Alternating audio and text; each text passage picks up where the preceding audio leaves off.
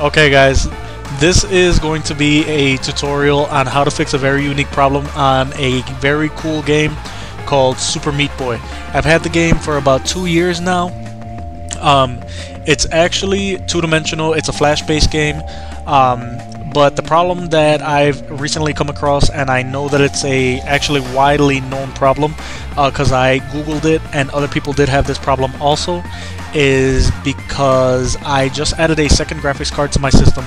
Um, I have a pair of Asus Radeon HD 7770s, 2 gigs apiece, uh, 4 gigs total, uh, 2 GPUs altogether, and they are crossfired. Uh, when you run the game, originally, if you are running it uh, and it's not windowed, what's going to happen is um, the game's going to be running really fast, so fast in fact that it's going to be choppy. Um, Meat Boy will look like he actually wants to explode standing in place. So what you're going to want to do is um, you're going to want to go ahead and run the game in windowed mode, guys. That's it. Um, you don't have to lower the resolution.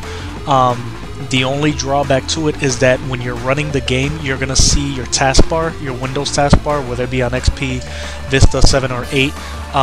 That is unfortunately something that you can't get around.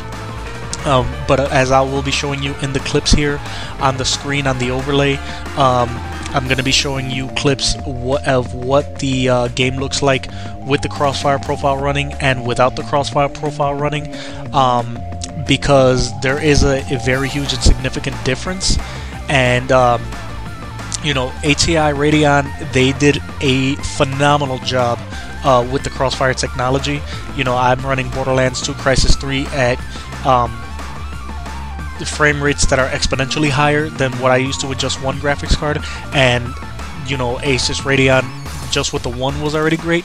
Um, but for a flash-based game like Super Meat Boy, um, ladies and gentlemen, it's not um, as necessary. That game can actually run without a graphics card. You know, with onboard um, graphics, it'll run.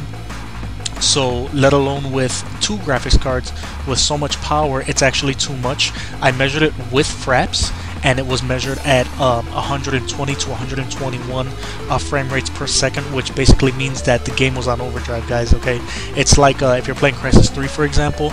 Let's say you're driving a fast car and then you upgrade to a faster car. Uh, this would be like if you get into a Ferrari and then put a rocket engine on it. It would just as soon as you turn that engine on, it's just going to tear the car right out of its own frame. That's pretty much the best metaphor that I can come up with, guys. So, like I said, I'm going to put the instructions in the um, description below also. Um, follow the steps here. You'll see that I'm doing in the... Um, I've done them in the overlink, guys. But like I said, um, this game, you can do it. Um, it's best played with an Xbox 360 controller. And like I said, a great game, guys. If you have any questions or the solution that I have told you does not work, go ahead and let me know, and I will get back to you as soon as I can. Thank you very much.